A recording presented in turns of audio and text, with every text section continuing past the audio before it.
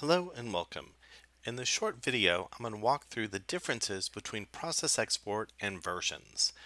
Um, over the last six months, we've had different capabilities come out and certify around change management. Uh, we introduced the concept of comparing processes and merging processes and then process export. And the latest one to complete this epic is versioning.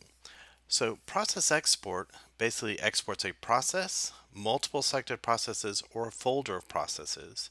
And what it does is takes all the dependencies. So if a process calls a second subprocess, there's layouts, record sets, variables, application versions, and the objects and actions. We'll take them, do a full deep copy of that, and then place it into a zip file in JSON format and provide a manifest of what's happened. That can then be used to move to a new project or a new new um, or an existing project, maybe in a sandbox. Process version has just come out in Certify 11, which does something a little different. It actually creates a copy of the process steps.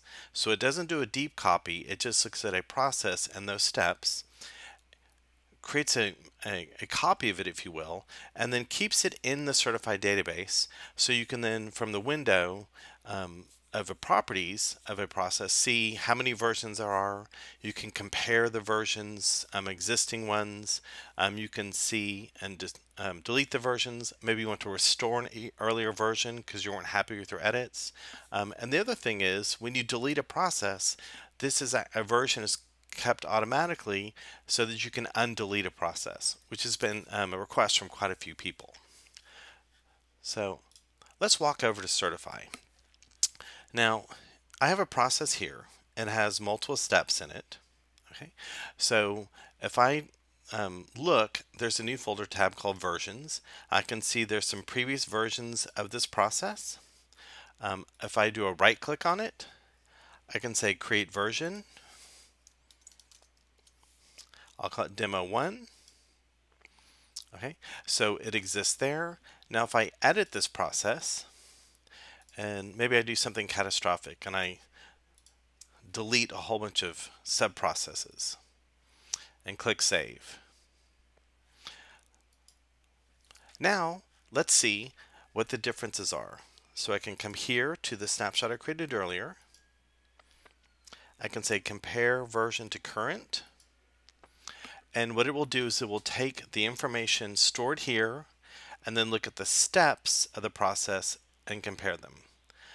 So I can see in the current version, there's missing subprocesses that actually existed over here. Okay, so I can see these three subprocesses existed, these three, these four processes exist, but they're in a different subfolder. So it allows me to um, see the different um, differences. So this could be helpful. Say I make a, a take a version of it, and source control, some people call it a snapshot. I make my edits and then I have someone, let's review my changes before they go in production. So you can see this, the changes inside of there. Okay. The other thing is maybe I actually do need all those steps. So I can come back and I can say, please restore this process. And what will happen is we will go through and restore all those steps. So my um, process is basically brought back to its previous state. So we'll open it up and I can look, all my steps are available again. So kind of nice and handy to um, see versions. Now the neatest thing is, um, if you're not thinking about using versioning, you may need this someday. I'll just come over here, I'm going to delete this process. Now I know this is the higher level process, so there's sub processes dependent upon it, so I could easily delete it. If I come to my tools, and I look at change history, um, I can see that um, a process version was completed because I deleted this process and I can actually go through and I can restore the process. So what this means is when I change processes, um, it gets there. When I delete a process, it will create a version of it for me automatically. So this versioning happened automatically for me. And I'll say restore. It'll take it'll ask me where to restore it so you can put it in a different location if you need to. In my case, I'll just put it in the same spot. And if I come back, I'll see that the process exists. So very helpful um, for actually just kind of managing individual processes. There it is. My process is back. And if I come back here, I'll just click the refresh and there it is. So this is specific to the new versioning, right?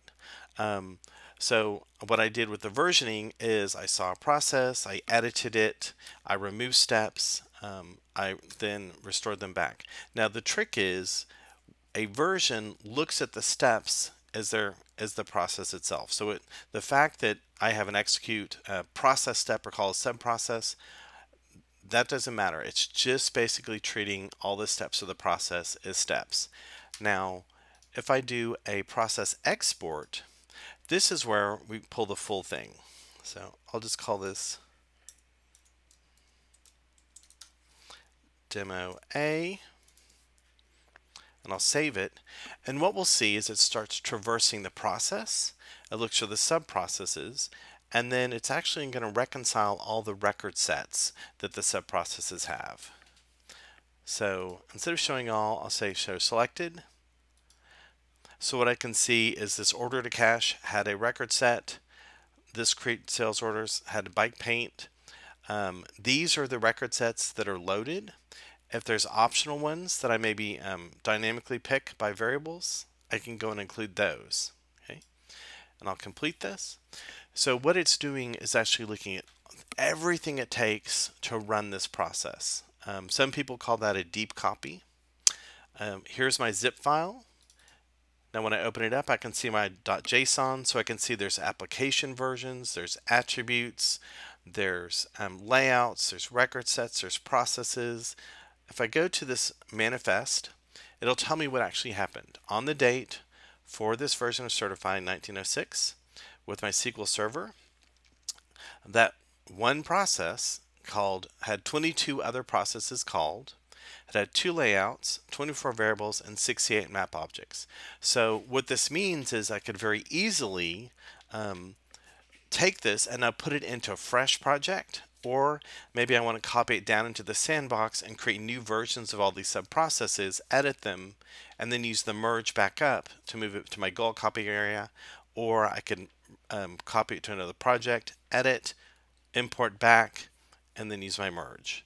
So kind of the core differences are our process import and export is a great way to move processes between locations. It does a deep copy of all the dependencies. Um, and versioning is more of I'm just looking at my highest level. So if I have a simple process with some steps, when I create a version, it would allow me to say um, keep this as the initial data or this is the data after variables and if I ever need to go back to this initial version, I can.